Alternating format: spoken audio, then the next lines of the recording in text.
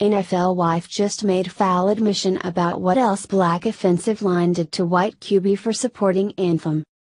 And just when you thought the ungrateful millionaires in the NFL couldn't go lower, they managed to once again pull another rabbit from their collective hats.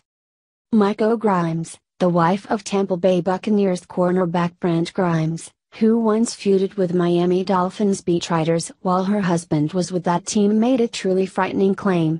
On Tuesday, while on a nationally syndicated morning program The Breakfast Club, Grimes claimed that the Oakland Raiders did, in fact, allow quarterback Derek Carr to get injured after Raiders players had a locker room fight in which Carr demanded that his teammates stand during the national anthem instead of kneeling. She did not say where the story came from or offer anything in the way of sourcing to back up her frightening claim. Claim